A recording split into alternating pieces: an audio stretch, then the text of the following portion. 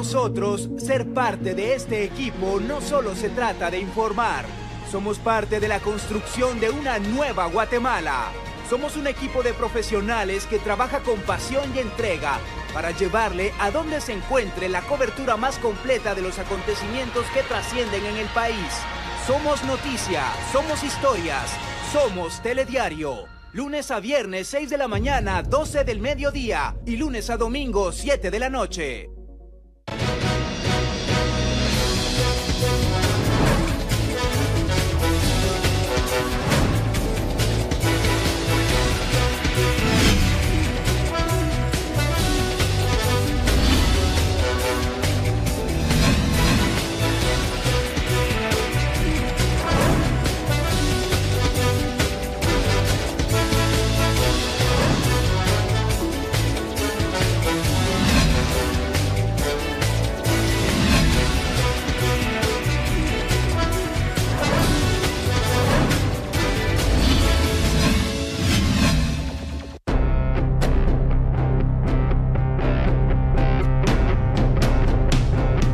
Sobrino me decía, tío, sálvame, el agua, el agua, tío, sálvame, sálvame, me decía.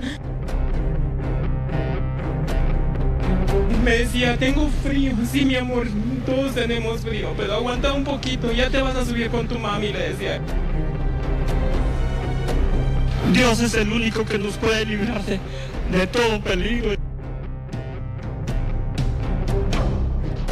Bienvenidos a la emisión estelar de Telediario. Esta noche la iniciamos con información lamentable, información que se genera debido a las fuertes lluvias que han acompañado el territorio nacional, a tal grado que en la zona 21 se vive una tragedia. Bueno, una niña también ha perdido la vida en la zona 21, en la colonia Guajitos. Le hablaremos de esto y de las lluvias que continúan azotando gran parte del territorio nacional. Le daremos un vistazo a las cámaras de Emetra para que usted vea cómo está la situación a esta hora de la noche en calles anegadas, por lo menos aquí en la zona 11, así se encuentran.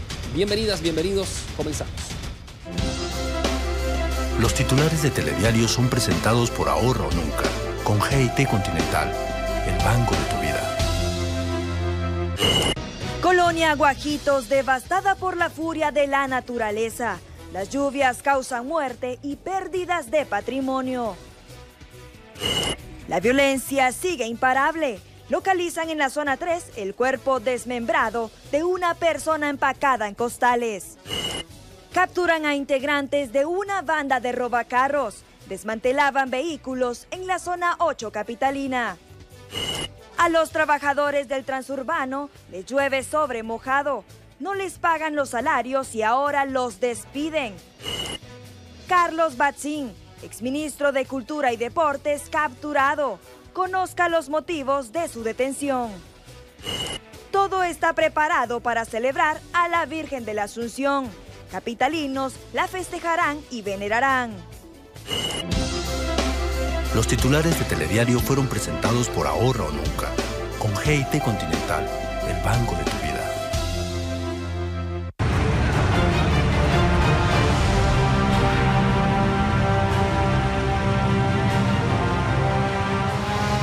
Ciudad bajo el agua. Bueno, así le hemos denominado a, esta, a este segmento que le vamos a presentar porque a continuación va usted a ver cómo el agua causa estragos en el tránsito vehicular.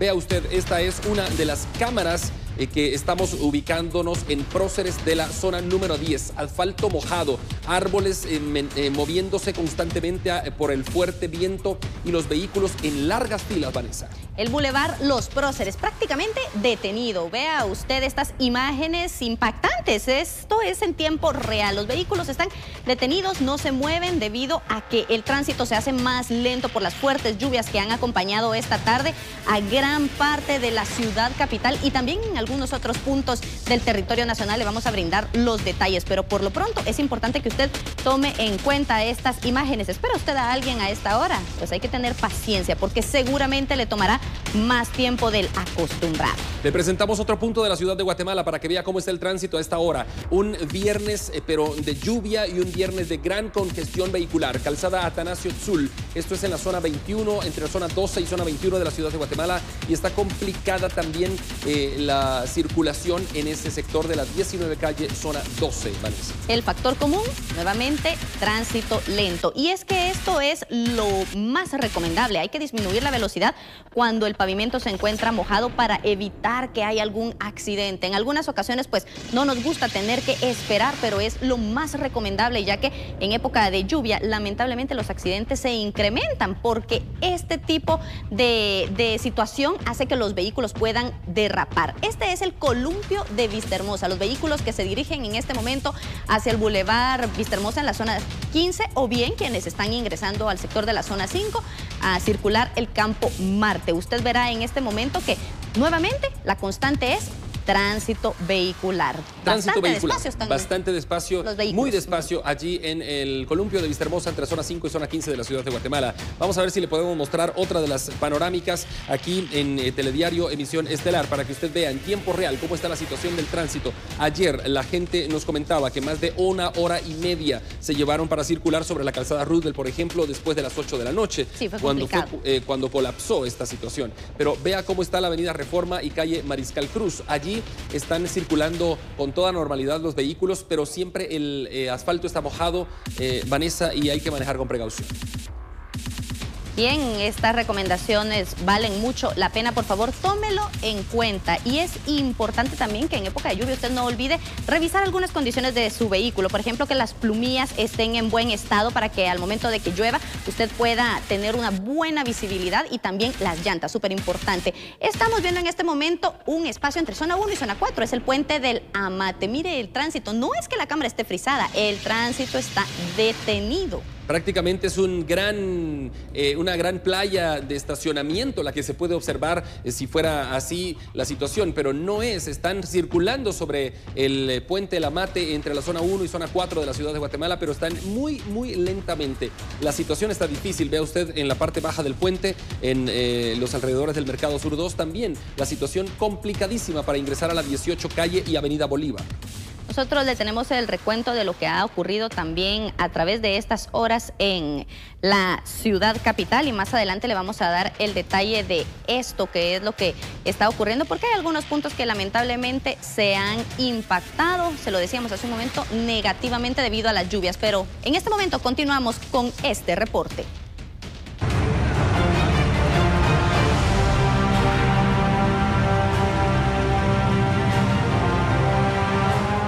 Para conocer algunos detalles de lo que ocurre a esta hora, nos enlazamos en este momento con Marielos García. Vamos directamente hasta la unidad móvil con ustedes, compañeros. Adelante para escuchar su reporte. Cuéntenos.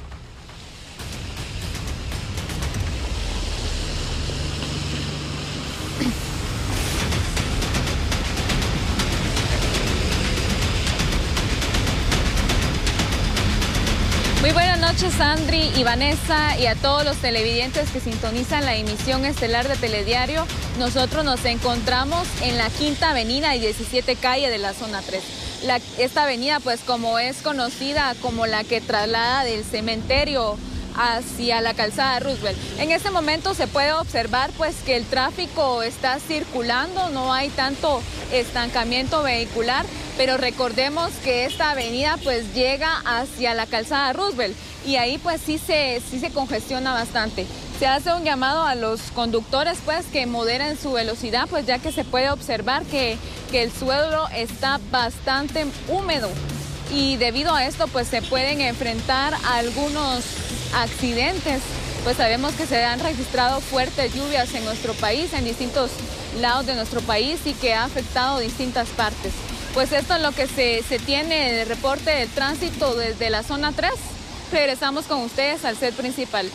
Gracias, Marielos García, desde la Quinta Avenida y 17 Calle en la zona 3. Y en este momento vamos a ver otro punto de la ciudad capital. Sexta Avenida, en la zona número 10 de la ciudad de Guatemala. Vea cómo está la situación. Los automovilistas están eh, totalmente parados en la vía. Vean ahora cuando la cámara está girando un poco y abriendo el panorama. A pesar de que el semáforo está en verde, los automovilistas eh, casi, casi no avanzan, no logran eh, seguir su marcha. Y esta es la situación difícil para las las personas que van ahora buscando San José Pinula, Santa Catarina Pinula, carretera hacia El Salvador, etcétera. Toda esta es la salida de la ciudad de Guatemala. Vanessa, es una locura prácticamente este viernes. Bueno, además de las lluvias hay que tomar en cuenta otros factores. Pues viernes, fin de semana, suele ser que se incrementa el tránsito vehicular porque algunas personas utilizan el carro. Otros días de la semana no lo hacen, pero viernes, pues si necesitan salir, normalmente se llevan el vehículo. Además hay que tomar en cuenta que lunes y martes en la ciudad capital de Guatemala será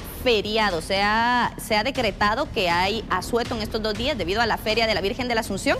Y pues muchas personas también desde esta noche están buscando salir de la ciudad capital a diferentes destinos. Situación complicada la que se vive en las calles de la ciudad de Guatemala. Vanessa, estamos viendo estas fotografías, diferentes imágenes, diferentes panoramas, diferentes zonas de la ciudad de Guatemala. Vean ustedes colapsadas las calles, eh, los tragantes han colapsado, están llenas de agua las calles y eso eh, complica el tránsito vehicular. Así es que la situación no está alentadora esta noche para esperar a sus familiares y amigos. Si tenían alguna cita, pues eh, usted pospóngala una media hora más, una hora tal vez, porque la situación está complicada para la movilización en las ya congestionadas calles de la ciudad de Guatemala. Por segunda noche consecutiva, la ciudad capital ha tenido problemas en cuanto al tránsito vehicular y debido a las lluvias. Así que mucha precaución. Esta es otra de las imágenes que le presentamos de los reportes que han hecho nuestros equipos para brindarle a usted las imágenes de lo que ha ocurrido en esta jornada. Vea usted los vehículos detenidos. Situación difícil y la situación difícil continuaba también esta tarde noche en la colonia Guajitos y en la zona 21, allá donde ocurrió una tragedia ayer. Continuaba hoy la lluvia y la situación está complicadísima para los vecinos de la zona 21, Vanessa. Esto es en la Quinta Avenida y 18 Calle de la zona 1. La cámara le está mostrando lo que ocurre en este momento en la zona 1 de la ciudad capital. Vea con qué dificultad los vehículos están intentando avanzar. Ahí vemos también eh, un transmetro, estamos viendo el transporte colectivo. Muy lento realmente es la movilidad que pueden tener las personas que en este momento están circulando por este y la mayoría de sectores de nuestra ciudad. Y la calzada Roosevelt siempre ha sido complicadísima. También a esta hora de la noche está llena de tránsito vehicular. Manece el anillo periférico, no se diga. Eh, y el kilómetro 4 de la ruta hacia el Atlántico también. Vean ustedes cómo está el kilómetro 4. Esto es a la altura de la colonia Maya, frente a la colonia Maya, justamente que está esta cámara. Y ahí está la situación. Los automóviles que están saliendo hacia el oriente y norte del país están aquí, en estas filas que ahora ya eh, se están eh, volviendo a llenar. Y esta fila llega hasta el puente Belice. Bueno, y esto es lo que te decía, tiene que ver mucho también las salidas de la ciudad capital con el hecho de que lunes y martes pues vamos a descansar. La mayoría de personas eh, gozarán de un feriado, así que esto también tiene que ver con que hoy muchas personas han decidido salir de la ciudad capital. Mucha paciencia, prudencia, por favor, tranquilidad en las calles para evitar accidentes.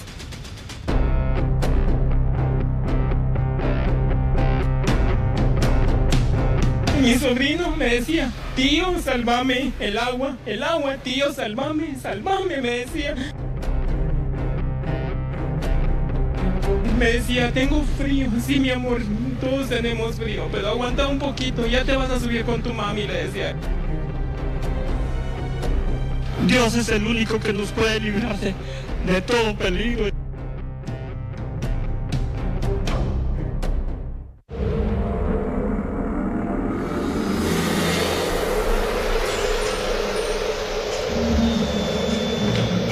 Una historia muy trágica se ha empezado a escribir en la colonia Guajitos desde ayer. Una niña ha perdido la vida a raíz de lo que ha ocurrido con las fuertes lluvias, Vanessa. Una situación lamentable y nuestros equipos, por supuesto, se han movilizado a ese punto para conocer lo que está ocurriendo y también para dar a conocer la solidaridad de quienes se han visto afectados por estas lluvias. Vamos con Samuel Orozco, quien nos brinda más detalles. Samuel, buenas noches. Andri y Vanessa, muy buenas noches. Nosotros continuamos en este lugar de la zona 21 en Guajitos. Y es que luego de que ya hemos hablado de la tragedia, luego de lo que ha pasado, es importante iniciar este enlace informativo hablando sobre la solidaridad que han hecho los guatemaltecos, que han mostrado una vez más, porque ahora ya no solo es la tragedia, ahorita se encarga qué es lo que hay después de la tragedia. Y es que hay historias que contar, pero todo se concentró definitivamente en esta casa donde murió la pequeña Fátima de dos años. Pero detrás de todo esto hay una mujer que la vamos a ver también aquí con nosotros, pero que ha dado todo para poder estar despierta, no ha dormido nada. Se encuentra conmigo doña Gladys Martínez. Cuéntenos brevemente esos momentos donde a usted me decían los vecinos que la vieron ahí encima del techo, que se estaba pasando de un lado a otro. ¿Qué, ¿Cómo fue eso? Pues fue un momento muy desesperante, muy aterrador, eh, tanto para la familia como para nosotros, va usted, que nosotros estábamos tratando la manera de ayudarlos para que ellos pudieran estar a salvo.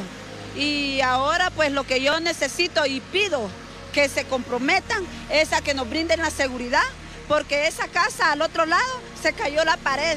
Entonces nosotros lo que queremos es una seguridad, pero que se comprometan.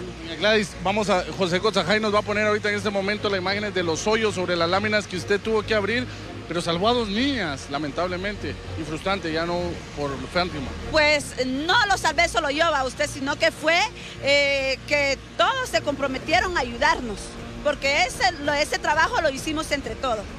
Entonces, sí, salvamos a dos señoritas, y lamentablemente pues ya no pudimos salvar a la pequeña Fátima. Quiero resaltar esto para terminar la intervención con usted. Eh, televidentes, cuando hay ese deseo de poder ayudar, cuando hay ese deseo de solidarizarse con el que está a la par, con el que está enfrente, con el que está atrás, se hace. Doña Gladys, con el permiso que ella me ha dado, hace ocho días le asesinaron a su hijo. Hoy debería estar haciendo los preparativos para llevar eso que se hace siempre los nueve días, eh, prácticamente celebrarlo, lo decía usted, pero no, ella está aquí ayudando. Sí, pues aquí estoy, va, brindándole la ayuda pues a mi prima como a mis suegros, porque ellos son parte de mi familia y no me va a gustar ni voy a estar tranquila que le pasara algo malo. ¿va? A pesar de su dolor. A pesar de mi dolor, aquí sigo en pie y echándole ganas a seguir adelante. Echando punta, como decimos los guatemaltecos. Vamos a caminar, Gabriel Hernández, por favor. Vean ustedes la solidaridad de los guatemaltecos de diferentes zonas de la capital. Han venido a dejar su ayuda, comida. Definitivamente hay bastante en este lugar. Han traído eh, diferentes tipos de comida enlatada, ya preparada también ropa que se está concentrando en este sector y pues también el dolor que invade por parte de las familias que han perdido a la pequeña de tan solo dos años, Fátima Pérez, quien pues eh, falleció ahogada. Definitivamente son 68 personas que se han contabilizado las que son afectadas, esto con más de 20 familias en el lugar, esto en Guajitos en la zona 21. Le hemos dado todo el seguimiento ya pues las puertas han quedado destrozadas, pero ahorita, por ejemplo, hemos hablado con la Municipalidad de Guatemala, con los delegados de Conred también, se ha habilitado un albergue, compañeros, en el sector del Salón Municipal que está por donde están los bomberos voluntarios en este sector de la zona 21, pero todavía no se ha pasado ninguna familia, les han ofrecido catres, les han ofrecido comida que ha llevado la Conred, están esperando el momento, pero no quieren dejar solas sus viviendas por las poquísimas cosas que se lograron salvar. Esta es una situación, pero aquí también en Telediario le vamos a conocer todos los detalles de lo que está ocurriendo. Vean ustedes, televidentes, atención. Dentro de toda la tragedia que se registró, encontramos a un bebé tan solo un año, el cual había pasado todo el día sin zapatos. Esto le ocasionaba bastante frío pero no podemos perder ese detalle. Lo mencionamos aquí a través de un enlace informativo. No pasaron ni 10 minutos y vino la respuesta. Le voy a pedir por favor a producción, allá en el estudio principal de Telediario, que pueda ponernos ese video para poder mostrarle a los guatemaltecos y a la vez agradecerles y como medio de comunicación también agradecerles por lo que ustedes están haciendo. Creo que estamos listos en producción. Veamos el siguiente video. ¿Qué fue lo que le trajo, Sorba? ¿Qué fue lo que le trajo? Pantuflas, ropa para el bebé y, y ropa para ella. ¿Cómo, ¿Cómo, se enteró que necesitaban las pantuflas? Por las noticias. Ahorita que estábamos enlazando. ¿Sí? Ah, muchísimas gracias. Tiene ahí las pantuflas para que las podamos. ¿Dónde están las zapatillas? ¿Vamos en la bolsita sacártelo? Sí, saquen, el, la, saquen en las pantuflas. ¿Puedo llamarle? Ya te trajeron tus pantuflas. Ya te trajeron tus pantuflas. Mira, para el frío. Pongámoselos aquí, mire.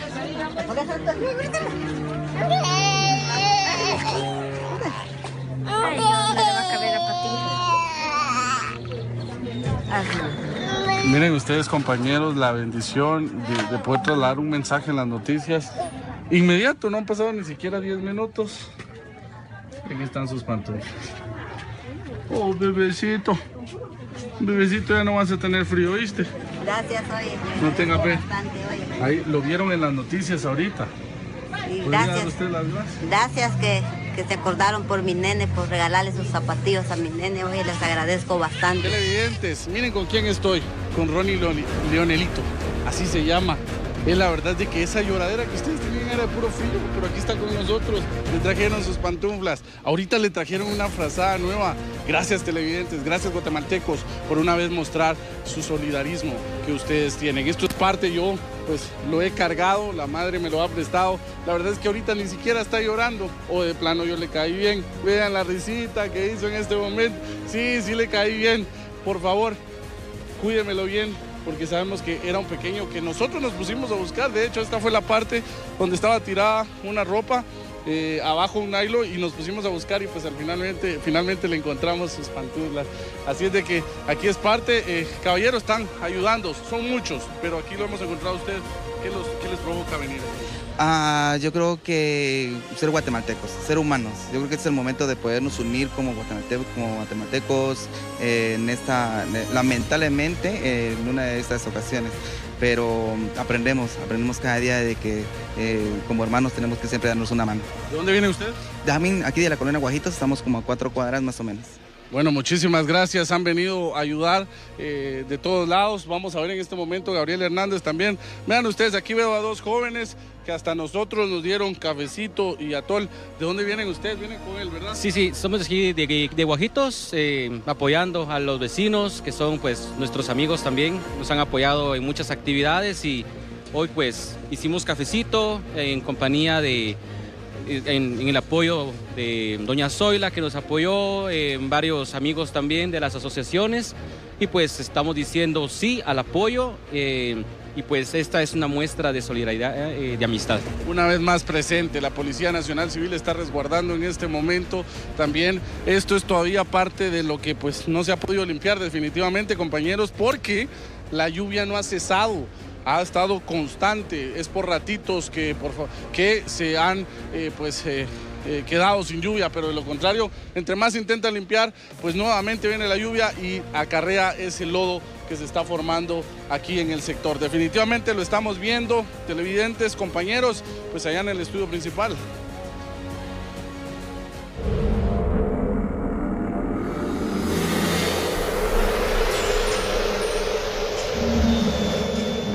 La tragedia, en medio de este drama humano que han tenido que vivir varias personas allá en la zona 21, usted vio las imágenes, muchos perdieron su, en su casa, perdieron la mayoría de, de las cosas que con trabajo a los guatemaltecos pues lo van logrando hacer poco a poco, pero en medio de este drama hay que res- resaltar algo bien importante que Samuel nos decía, se siente calor humano, se siente ese cariño y ese apoyo de los vecinos que están tratando de ayudar a quienes en este momento más lo necesitan. Situación difícil allá en Guajitos, zona 21. Vamos a continuar.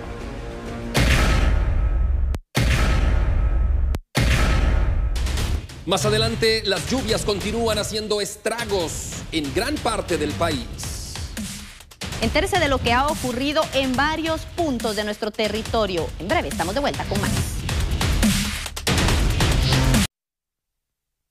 Para mí Telediario es el pretexto perfecto para ayudar a quienes lo necesitan. Podemos llegar a muchos guatemaltecos y eso nos da un sentido de responsabilidad también bastante grande. La vida le cambia a un ser humano al momento de llegar a un lugar donde tiene que hacer un trabajo muchas veces peligroso. Sin embargo, la pasión que uno vive aquí no la puede recibir en otro lado. Somos noticia. Somos historias. Somos Telediario. Telediario al amanecer, 6 de la mañana.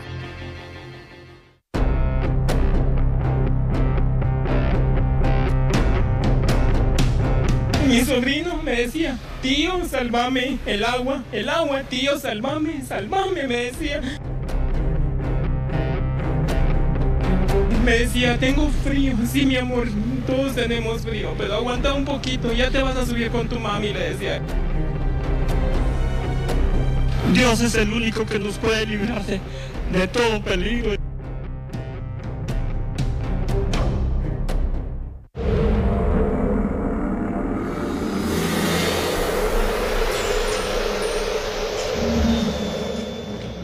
Zona 21 la tragedia ha enlutado a una familia y es que lamentablemente a consecuencia de las lluvias una pequeña ha perdido la vida y este ha sido un drama para varias de las familias que viven en ese sector porque han perdido muchas de sus pertenencias, pero también hay cosas importantes para resaltar. Es positivas. correcto. Sí, al llamado de telediario, una persona de buen corazón acudió y le regaló unas pantuflas a un pequeño. Vea esto, por favor. ¿Qué fue lo que le trajo, Sorba? ¿Qué fue lo que le trajo? Pantuflas, ropa para el bebé y, y ropa para ella. ¿Cómo. ¿Cómo se enteró que necesitaban las Por pantuflas? las noticias. Ahorita que estábamos enlazando. Ah, muchísimas gracias. Tiene ahí las pantuflas para que las podamos. ¿Dónde están las zapatillas? Vamos en la bolsita a sacártelo. Sí, saquen, el, la, saquen las ¿Se la pantuflas. doña Marlene? Ya te trajeron tus pantuflas. Ya te trajeron tus pantuflas. Mira, para el frío. Pongámoselos aquí, mire.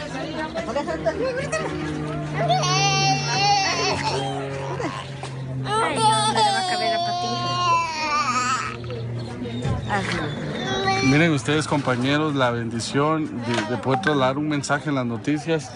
Inmediato, no han pasado ni siquiera 10 minutos. Aquí están sus pantuflas. Oh, bebecito. Bebecito, ya no vas a tener frío, ¿viste? Gracias, oye. No tenga fe. Ahí lo vieron en las noticias ahorita. Y ¿Podría dar gracias. usted las gracias? Gracias que, que se acordaron por mi nene, por regalarle sus zapatillos a mi nene. Oye, les agradezco bastante.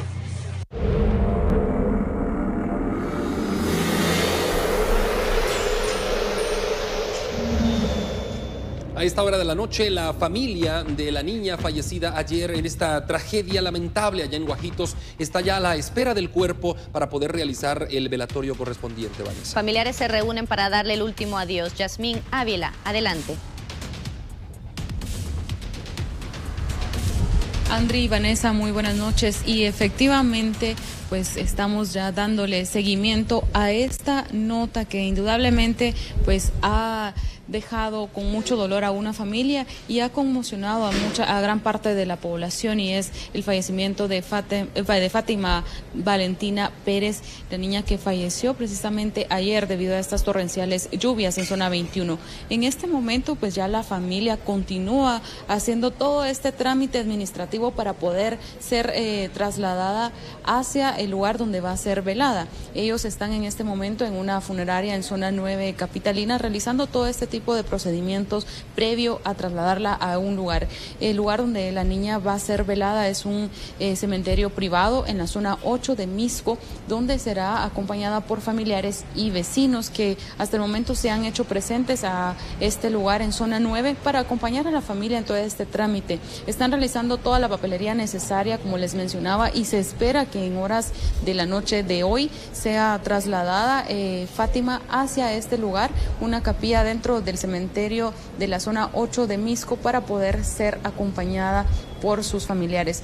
De momento se nos ha solicitado mm, mantenernos al margen de la familia, mantenernos al margen de toda esta situación debido a que los padres eh, pues no están obviamente pasando un mejor momento, ellos están pues bastante afectados, la familia está pues muy conmocionada y muy afectada hasta el momento. Y se nos ha pedido que por favor no nos eh, acerquemos a la familia porque no están en disposición de estar eh, pues compartiendo este tipo de, de momentos con los medios de comunicación, mucho menos. Por lo que nosotros pues hemos respetado la decisión de los padres y ellos se encuentran en un lugar cerca de donde nosotros estamos realizando toda esta papelería y no se nos ha permitido eh, el ingreso o el acercamiento con ellos. Totalmente comprensible y también se nos eh, indicaba que en el momento de que Fátima sea trasladada a este lugar en el cementerio de la zona 8 de Misco, también mantenernos al margen. Si en algún momento se nos deja ingresar el eh, acercamiento a donde va a ser el proceso, todo el, momento de la velación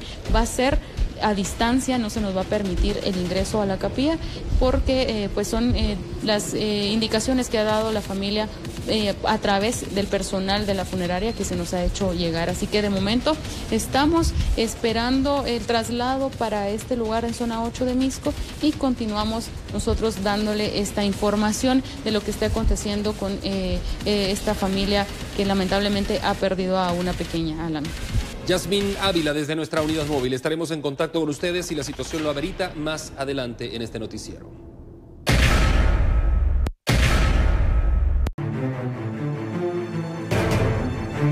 Seguimos con la información. En un juzgado en Chimaltenango le dieron a conocer el motivo de su detención. El exministro de Cultura y Deportes, Carlos Batzín, fue en el caso cooptación del Estado por los delitos de cohecho pasivo y asociación ilícita. El exministro de Cultura y Deportes, Carlos Batzín, permanecerá en la prisión Mariscal Zavala, zona 17, una semana, previo a que se discuta la acusación del Ministerio Público y se resuelva si podría quedar sujeto a la investigación del caso cooptación del Estado. Que se le autorizara de una vez por el feriado, como ya usted lo ha manifestado, pues es bastante largo, em, que se le autorizara de alguna forma el poderle eh, ingresar eh, lo siguiente, objetos personales serían en este caso, pero también tal vez unas dos mudas, eh, ropa de vestir, así como un par de hinas, jabón de baño, cepillo de dientes, eh, tal vez una pasta dental o otra en su defecto. Asimismo... La diligencia de primera declaración no se programó para el 14 de agosto porque el organismo judicial autorizó al sindicato mayoritario de esa institución el famoso puente por el feriado del 15 de agosto de la feria de Jocotenango. Ante esto el juzgador le explicaba a Batzín pues que la agenda está bastante cargada de diferentes casos penales y el único espacio que tiene es el próximo viernes a las 9 de la mañana para resolver su situación legal.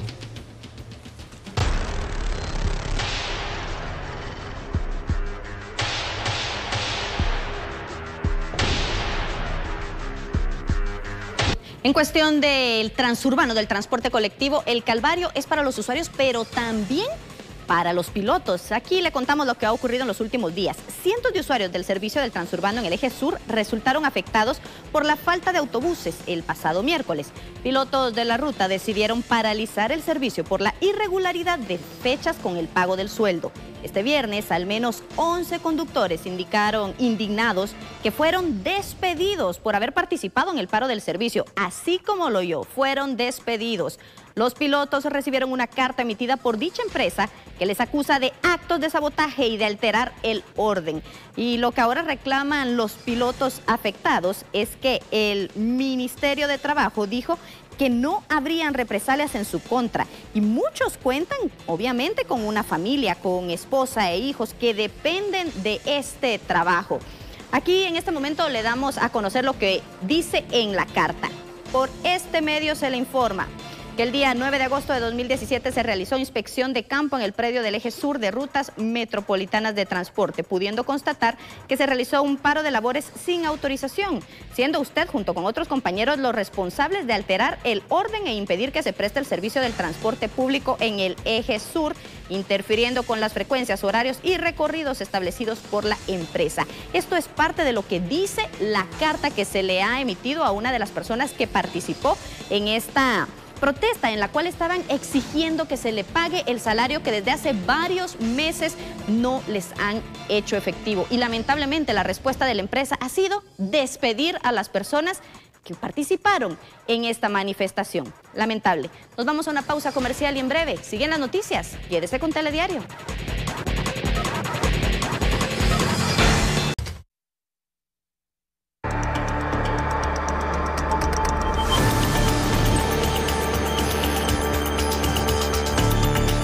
Seguimos con las noticias. El miedo se volvió a apoderar de los vecinos de la zona 3 de la ciudad de Guatemala, ya que en horas de la mañana de este viernes encontraron dentro de costales restos humanos.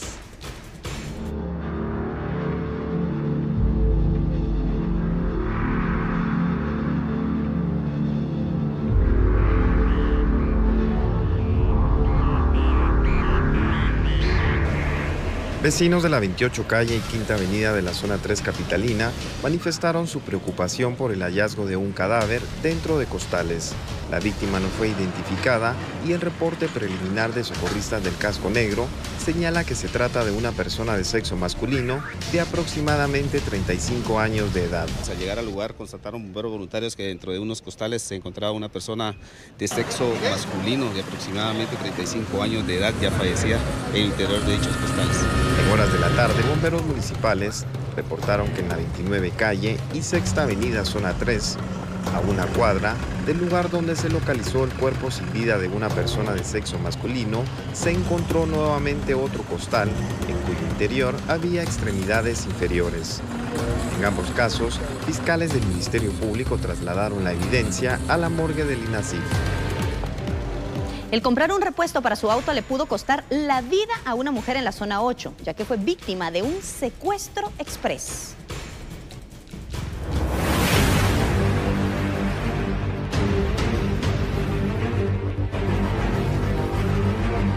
Sujetos desconocidos robaron un vehículo deportivo modelo 2008.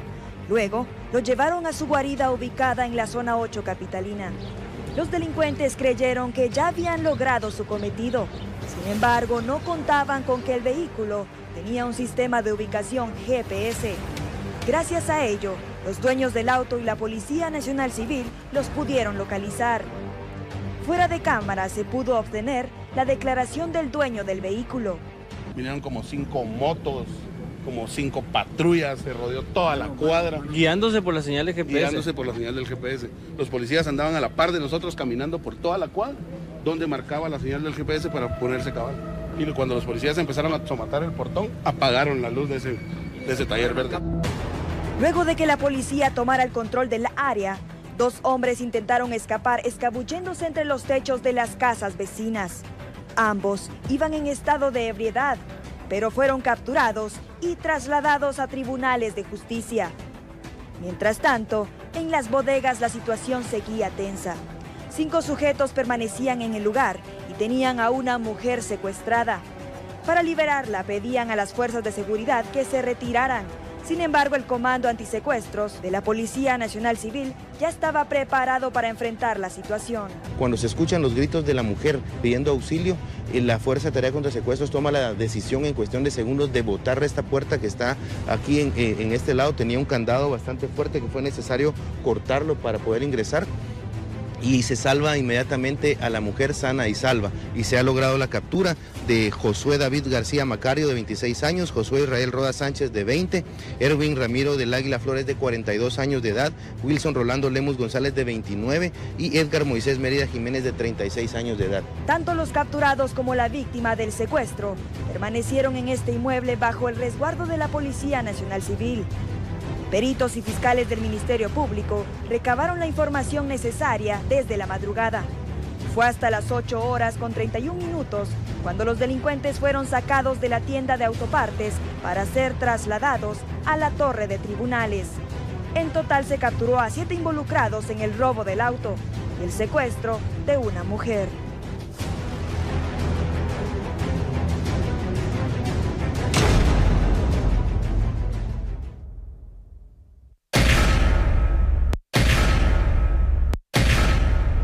Más adelante, Samuel Orozco nos cuenta qué está pasando con los vecinos que sufren con esta tragedia en Guajitos, zona 21.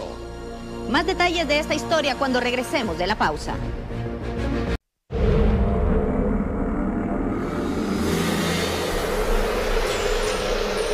Tras la tragedia ocurrida en Guajito, zona 21, cientos de vecinos se han acercado mostrando su solidaridad. Samuel Orozco amplía esta información en detalle. Adelante.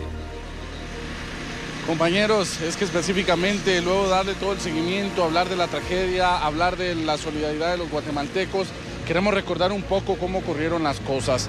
Ayer a eso de las 9 menos cuarto de la noche, la lluvia sorprendía terriblemente al territorio nacional movilizándose, desplazándose de norte a sur. Pero cuando llega a este lugar, en Guajitos, en la zona 21, esta casa marca la diferencia. ¿Por qué? Porque es aquí donde ha quedado la pequeña Fátima Pérez Pérez, de tan solo dos años, quien ha fallecido ahogada. Vamos a pedirle a nuestro compañero Gabriel Hernández, vean ustedes, el agua llegaba hasta esta altura, según lo que nos han indicado, porque ha quedado una marca. Quiere decir que todo esto colapsó definitivamente. Yo mido un metro setenta y siete. Imagínense, esto llegó a los dos metros o un poco más. Las ventanas, a su paso, el agua dejó la basura, rompió vidrios, rompió todo lo que tenía a su paso. Ya nada, nada se pudo hacer por salvarle la vida a la pequeña Fátima. En este momento José Conchajay de la unidad móvil va a poner unas imágenes de las láminas del techo de esta vivienda, donde los vecinos tuvieron que irrumpir. Rompieron esto también para poder intentar salvar la vida de los que estaban ahí. Hay dos niñas que lograron salir con vida, otras dos personas adultas, pero la pequeña ya no fue posible. Estaba durmiendo en uno de los cuartos y es así como se inunda la vivienda. Vamos a tratar de lograr ver aquí, si, si se lograra ver. Miren ustedes, se inundó toda la vivienda que no dio espacio para poder sacar a la pequeña Fátima de tan solo dos años. Esto significa que inmediatamente, luego de que el agua empezó a bajar, a bajar, fue donde, donde la localizaron, pero ya nada se pudo hacer para poder trasladarla muchos minutos con vida, porque en la emergencia del hospital fue donde ya definitivamente no dio más.